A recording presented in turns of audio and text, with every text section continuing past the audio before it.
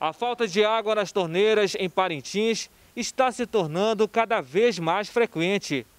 Não tem água na torneira aqui no centro, nas Nações Unidas. As reclamações levaram a Defensoria Pública do Estado a solicitar explicações do SAAI, Serviço Autônomo de Água e Esgoto, que fornece água tratada para o município.